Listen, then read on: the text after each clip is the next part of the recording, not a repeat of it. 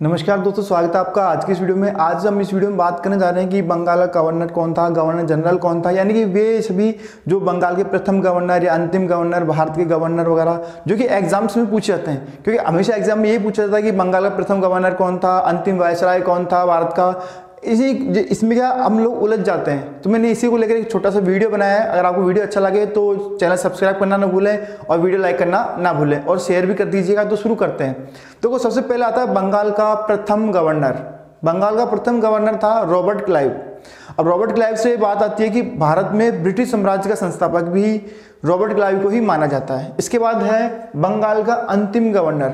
देखो, बंगाल का अंतिम गवर्नर कौन था? जो बंगाल का प्रथम गवर्नर जनरल था। यानी कि बंगाल का अंतिम गवर्नर और बंगाल का प्रथम गवर्नर जनरल दोनों एक ही है, वो है वॉरेन हेस्टिंग्स कौन था? वॉरेन हेस्टिंग्स बंगाल का अंतिम गवर्नर और बंगाल का प्रथम गवर्नर जनरल अगर क्वेश्चन आता है कि बंगाल का प्रथम गवर्नर कौन था? तो रॉबर्ट क्लाइव अंतिम गवर्नर कौन था? तो वॉरेन हेस्टिंग्स, बंगाल का प्रथम गवर्नर जनरल कौन था?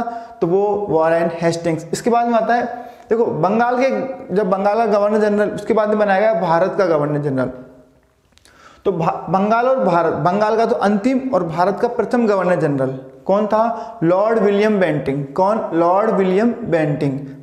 बंगाल का तो अंतिम गवर्नर जनरल और भारत का प्रथम governor general Lord William Bentinck.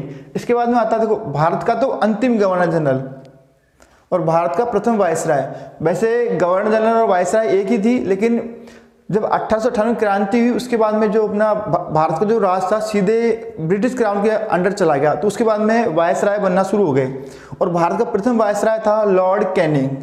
Bharat का अंतिम गवर्नर जनरल और वायसराय दोनों कौन थे? Lord Canning. इसके बाद में आज़ादी के समय। स्वतंत्रता से पहले कौन था?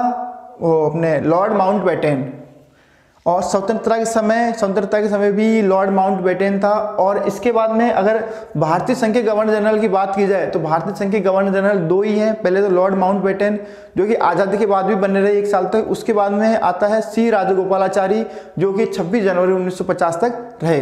अगर आपको वीडियो अच्छी लगी हो, अगर जानकारी अच्छी लगी हो तो चैनल सब्सक्राइब करना ना भूलें, वीडियो लाइक करना ना भूलें, शेयर करना ना भूलें, और दोस्तों, मिलते हैं नेक्स्ट वीडियो में। धन्यवाद।